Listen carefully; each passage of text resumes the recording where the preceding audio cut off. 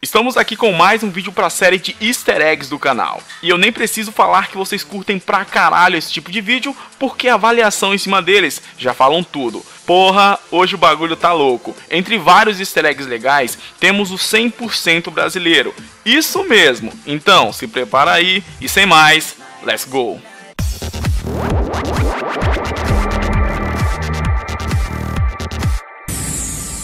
E começando com Metal Gear Solid The Twin Snakers, um jogo que foi lançado para GameCube em 2004 e ele era um remake do Metal Gear Solid do Play 1. Claro, com seu lançamento para o GameCube, a Nintendo não perdeu a chance de colocar easter eggs que faziam referências à própria Nintendo, como o console GameCube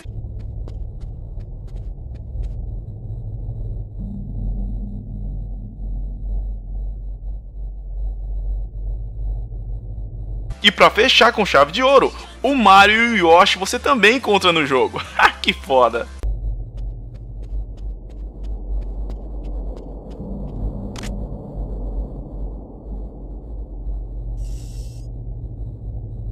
E uma parada bem da hora desse easter egg é a reação dos bonequinhos caso você atire neles. Olha só o Mario.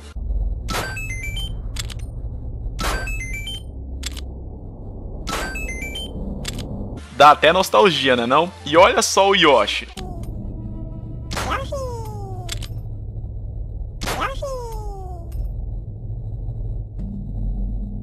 Simplesmente foda pra caralho. Vamos ao próximo. Quando você estiver jogando o mapa Siege of Shanghai do BF4, você poderá encontrar uma figura bem popular da China, a imagem do ex-astro da NBA Yao Ming. Você encontra ele em propagandas espalhadas pelo cenário, e caso você esteja por dentro da zoeira e conheça o meme Beat Please, que na realidade é o rosto de Yao Ming, você vai ter 100% de certeza que é uma referência a ele. Quando a Capcom lançou seu primeiro RPG de sucesso, o Breach of Fire, ela deu um jeito de fazer uma propaganda da sua franquia mais famosa, a Street Fighter, claro. E o interessante é que eles usaram um easter egg para isso. E eu aposto umas moedas que muita gente zerou o jogo e nem sabia o que eu vou mostrar agora. E para ver esse easter egg, primeiramente você tem que ir na cidade de Brick. Lá, fale com um pequeno mágico. Ele vai te pedir 100 moedas para te mostrar algo interessante, tá ligado? Pague ele e ele vai falar para você olhar para trás. Diga não por duas vezes e na terceira diga sim, que vai aparecer o easter egg.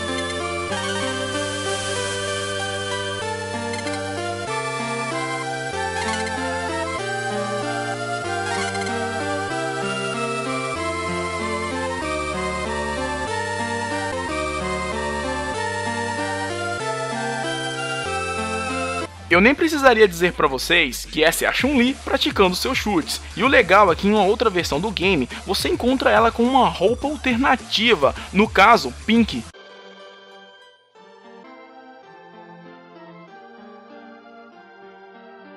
Agora um easter egg 100% brazuca, tá ligado? Ele fica no CS Rio. Vixe, vou fazer muita gente lembrar dos corujões da vida. Eita tempo da hora, né não? Então, voltando a falar do easter egg que foi colocado no mapa pelos BRs, Roger e Joca, os criadores do tão falado mapa CS Rio e um dos, entre aspas, responsáveis pelo banimento do CS das lojas. E para você que jogou esse mod e não conhecia esse easter egg, eu tenho certeza que deve estar se perguntando: "Porra, Daniel, como que faz isso?" Então, o que deixa tudo mais da hora é o fato de que ele não é tão simples de se achar. Tem todo um procedimento. Então os caras até nisso, cara, nota 10.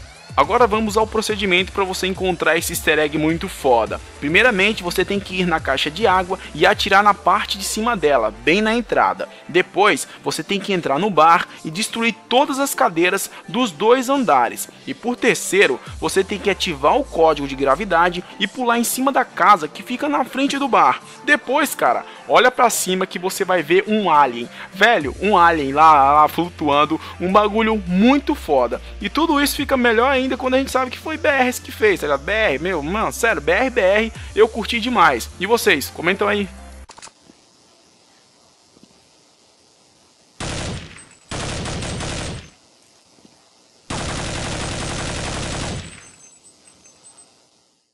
E agora passando para Half-Life 2, episódio 2. E aqui, os criadores da série Half-Life são super fãs de Lost e resolveram homenagear a série. No jogo, você encontra vários símbolos que fazem referências ao da iniciativa Dharma. Você vê eles na parede. E aí, alguém lembra?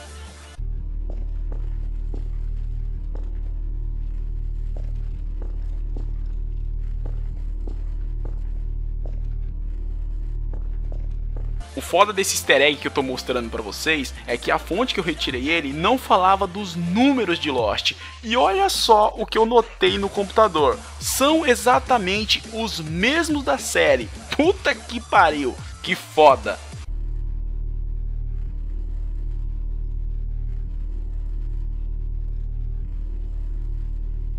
E para encerrar, eu andei dando uma pesquisada e descobri que os designs do jogo Half-Life prometeram aos atores da série Lost que iriam fazer uma referência a eles, cara. E como promessa é dívida, eles fizeram. Então é isso aí, chegamos ao final de mais um vídeo e eu espero que vocês tenham gostado dos easter eggs que vocês viram. Deu um trabalhão para fazer, então por favor, se curtiu, deixa sua avaliação no vídeo para ajudar a divulgar. Outra coisa que eu vou pedir para vocês é que se você curte o canal e gosta e quer ver ele crescer, apresenta esse vídeo para um amigo que não me conhece, principalmente que não me conhece. Apresenta o canal para um amigo seu que não conhece meu trabalho vai que ele gosta. Então eu conto com você. Outra coisa é que eu quero, eu peço humildemente que vocês me sigam no Twitter, o, a fanpage do canal também está na descrição e o meu Facebook pessoal. Caso você queira entrar lá, eu interajo muito com o pessoal de dia, de noite, madrugada, é nós na fita. Então, tô esperando vocês nesses lugares e é isso aí. Fiquem com Deus que é a base de tudo. Eu espero de coração que vocês tenham curtido o vídeo. Fui e até!